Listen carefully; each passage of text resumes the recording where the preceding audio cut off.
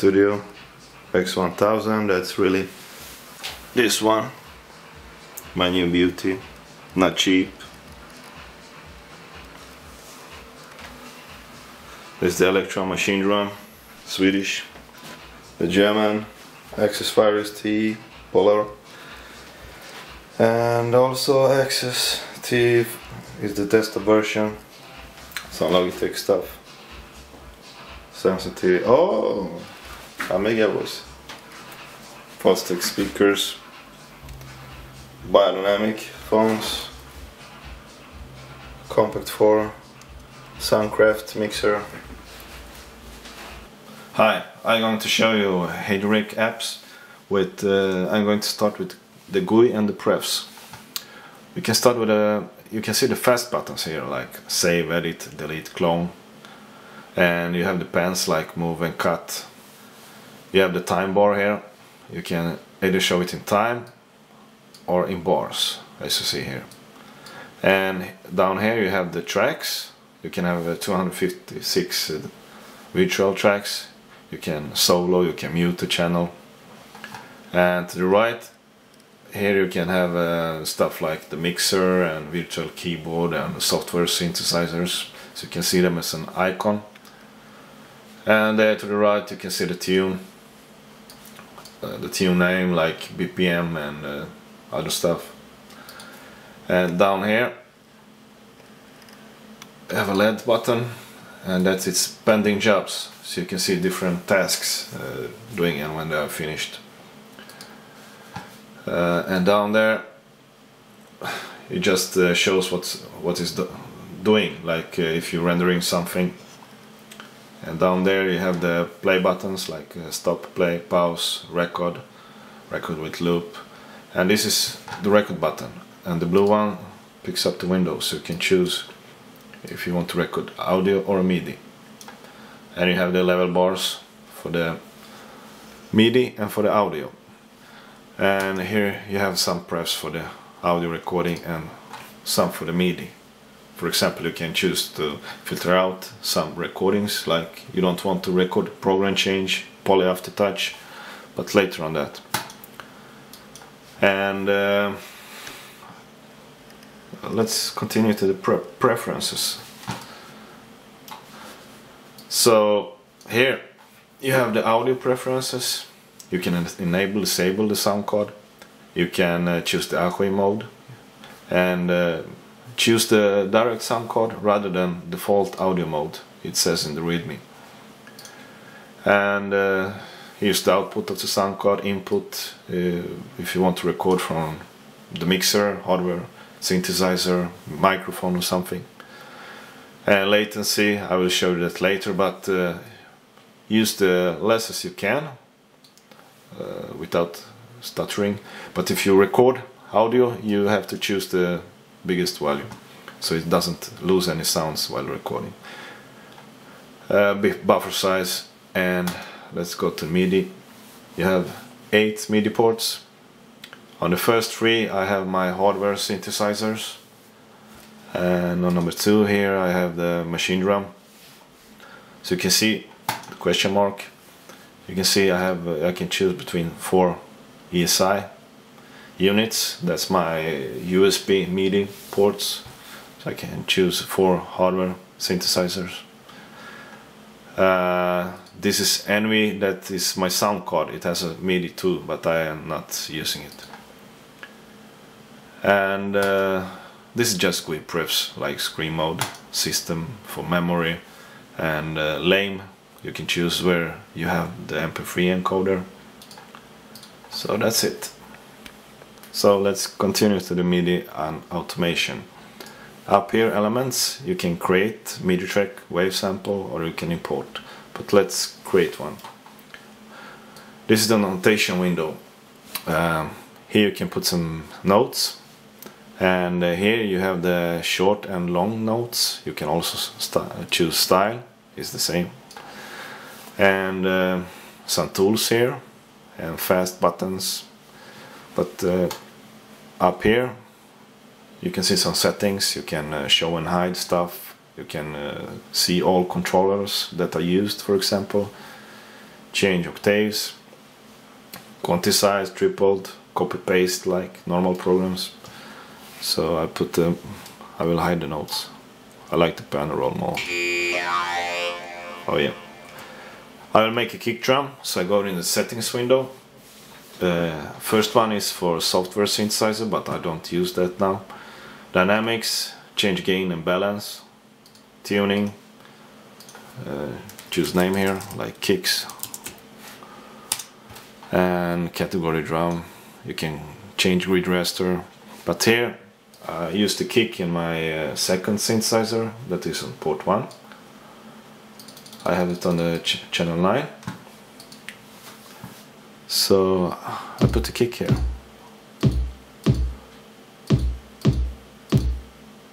So that's enough. That's a kick drum, you can see velocity here. Let's go out. And you can also copy paste if you like. You have clone, merge, instance, duplicate. Uh, clone is the easiest one. If you change one, the first one, all the ones that the clone will uh, sound the same. So if you want to make an instance, uh, it will be an own copy, so you can change this and the other ones wouldn't be affected. So let's create one more MIDI track. So I will make a bass. Type bass here. And uh, it's my first synthesizer, port 0, channel number 4. And uh, I will choose a short note. I can choose to see the kick ghosted.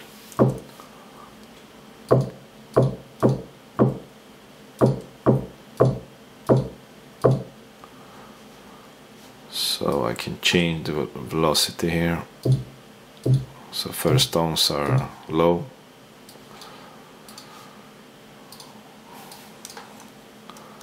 Copy, paste. You can move with the arrow keys. So uh, now I have uh, both kick and bass.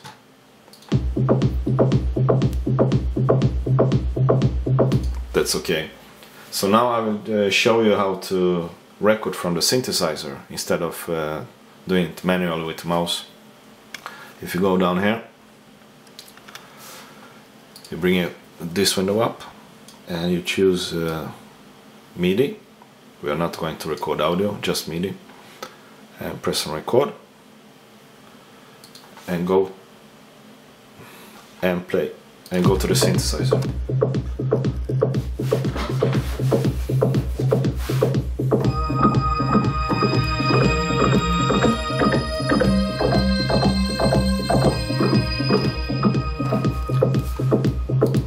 Okay, so we are going to record automation too.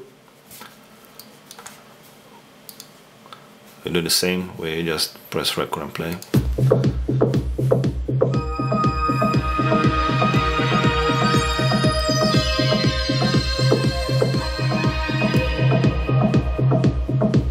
That's enough. So let's see what we've done so far.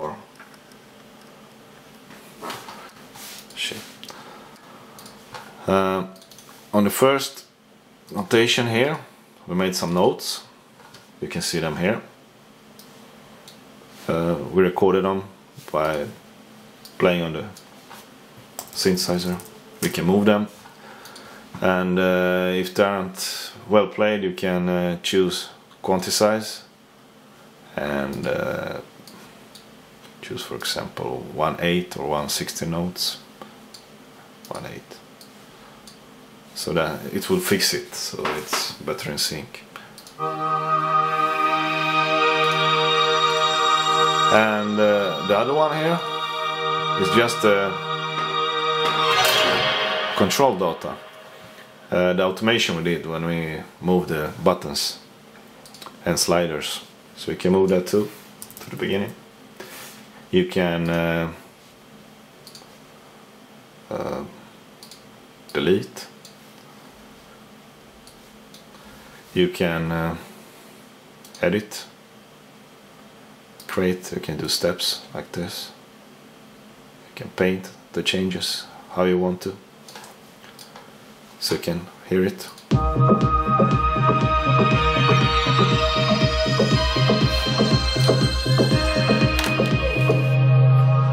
That's that. So let's continue with the audio recording. I will uh, here is a preloaded tune with uh, some MIDI tracks and I will uh, record uh, the kick and the hi-hat. And I bring up the EU control window choose audio to record instead of MIDI uh, record and play.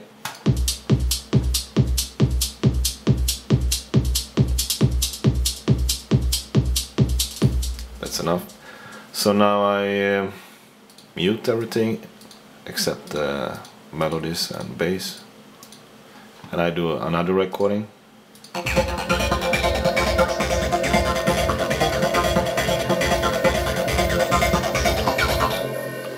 So I remove every, every MIDI data so I you can see only the samples like that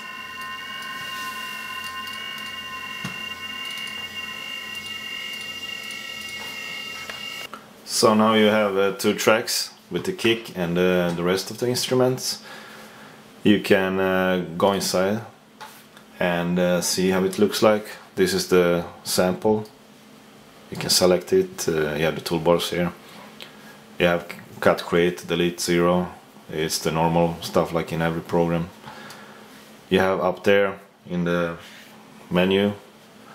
Uh, you can choose stuff like edit copy mix insert uh, the normal stuff like in many other programs operators like fader normalize truncate uh, invert. So you don't need an app like Audiomaster you can do it here. You can export the wave sample. It uh, doesn't go through any mixer or any effects. Instead uh, it just uh, saves it raw and um, you can uh, in the settings choose like dynamics. So it uh, you can change the volume in the channel. Not the sample itself but in the channel.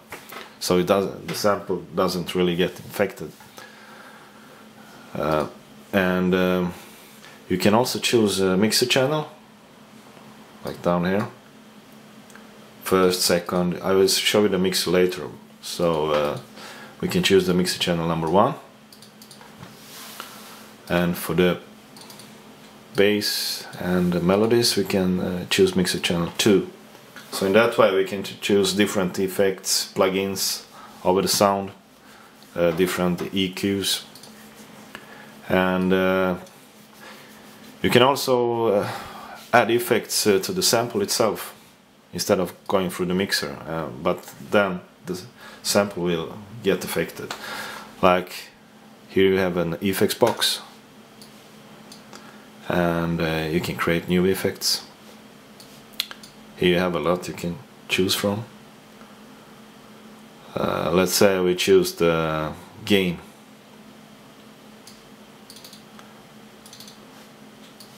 and uh, put on 200%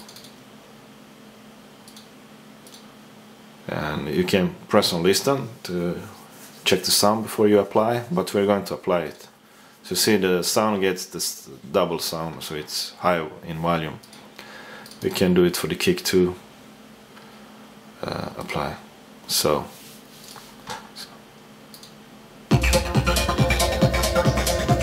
so both are really high. You can choose other effects etc and uh, export it the sound and uh, you can go to the mixer. Like this. And um, here you can see you have uh, 16 different channels. So this is not MIDI channels this is audio channels.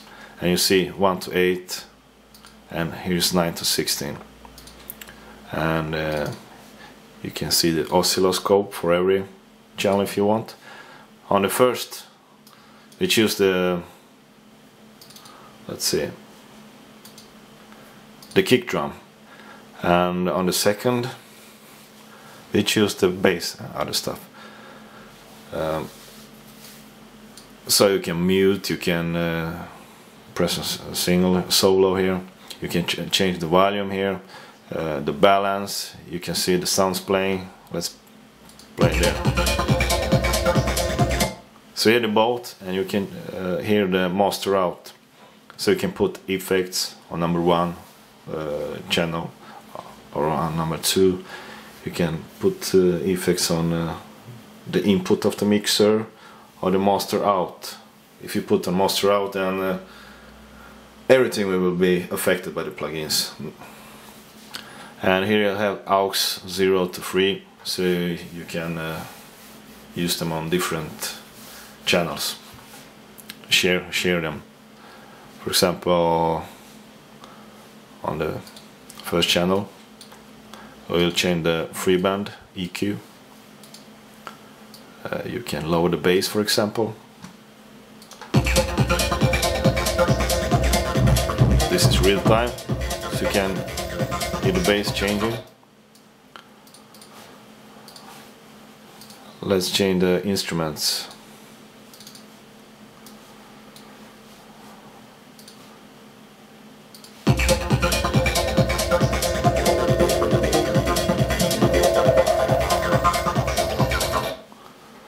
So there's a lot of stuff you can do really on the mixer and uh, uh, you, you, can see the oscilloscope.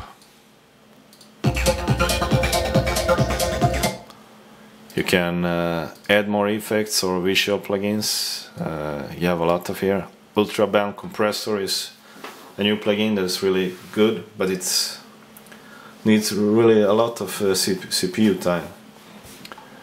It looks like this. Three different bands. Uh, you can see the visual here. Uh, I use it. Uh, I will use it for uh, compressing my music, mastering. And uh, otherwise, before I used the dynamic filter. It's also good. You can put gain and tube and low pass, high pass.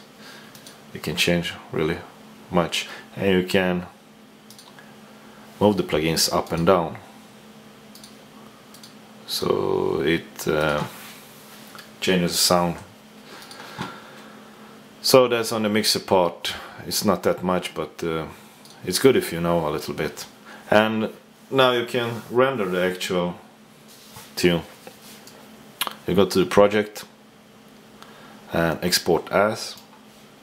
You can choose for example WAV, MP3 or some other format you can also export MIDI if you want to. And we can choose to export. Hi, this is uh, the software plugin I will show you now. Up here you can have the mixer like usual uh, the virtual keyboard and the actual software plugin. This is the about window uh, this the patches you can load save uh, patches and banks. Uh, let's press on an instrument. Here you can see it's window uh, it looks like synthesizer. You can change LFOs, decay, attack, phase, sustain, release. You have four layers to make. Up here you have the mixer channels for the audio mixer so you can put uh, delay, reverbs and stuff. Uh, change EQ. And uh, the next one is drum kits. Also there you can save and load drum kits, samples. If we go to the bass drum, we can see it uses mixer channel number one. So you can, for example, put a compressor. It's really good for bass drums. And you can change pitch, pan, decay and other settings. Uh, the next one is uh, the assign window. You can assign MIDI channels, not audio channels, it's MIDI channels. Uh, when you make the music, the scores, like in here, this is the MIDI dot I described before. So the the drums are on number 10 and the rest is on the other one channels. Next is config. We use uh, the whole sweeper synth on MIDI port number one. And um, you can change tuning, volume, pitch bend, how many voices you want to use and drums. The more you use the better the sound and uh, the more CPU it uses. So let's see if you see the drums here.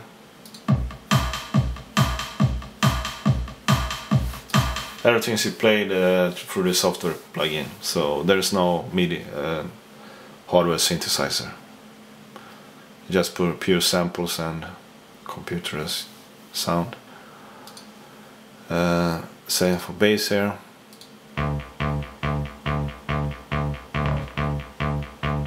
Really cool. Uh, can have lead filters. So let's hear an example of the music.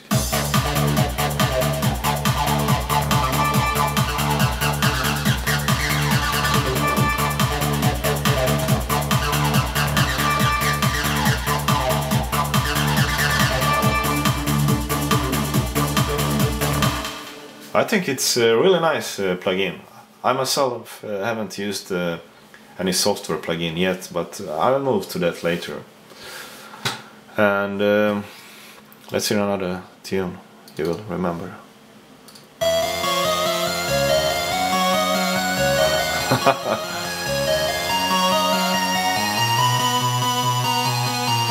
so that's Bubble Bobble. So you know you can do really nice music, dance music, uh, like Commodore 64 music, uh, like Bubble Bobble. So uh, you're just using your fantasy. So I will show you the rest of the menus and stuff in uh, HD-Rec. For example, this is my tune I worked with before. This is only hardware synthesizer. So I have a window called uh, patch list and uh, here you can make dumps of uh, like backup of your sound settings on the synthesizer or total full banks. So you can see the patches here which port how many bytes uh, what the instrument is called. You can change it to send to other synthesizers. Uh, you have the audio mixer, MIDI router, I haven't used it. Uh, project info, info about the projects, patch list, uh, transport control, BPMs and stuff. Uh, you have the plugins, mixer I already shown you, you have RX plugins, you have Bars and Pipes, probably most of you guys knows that program, you can uh, use its plugins. Beeper Demo Soft Synth, uh, the sweeper, virtual keyboard, and here I haven't tried timing correction, but uh, you can do GUI benchmark. You can uh, use the system browser. It's for debugging. You can see more information about the tune, like views, a lot of info, elements you're using, MIDI tracks, wave samples patches, plugins, effects you use, etc. etc. And for example, you can delete a WAV from the tune. Uh, what more? I think it's all.